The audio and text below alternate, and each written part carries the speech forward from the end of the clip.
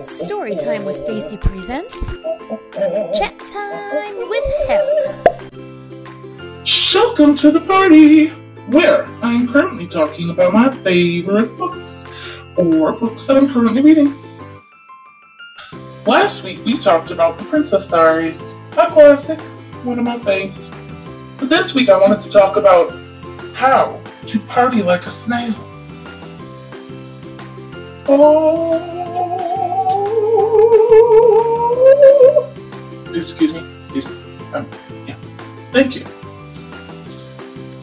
Yep, keep yeah, Alrighty. this is chat time with time.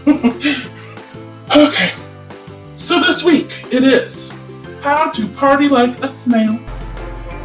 It is a fantastic book all about Snail the snake. I cracked myself up. He is a party animal, but he enjoys the quiet parts of the party, like the falling confetti and the moment before everyone yells, Surprise! oh, ah, I know. I am definitely not a quiet snail. If it gets too loud at a party, he goes into his shell. And it's really sad because then no one can see his awesome dance moves.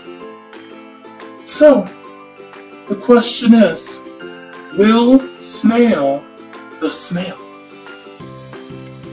find the right person to party with? You're gonna have to read the book to find out. Okay.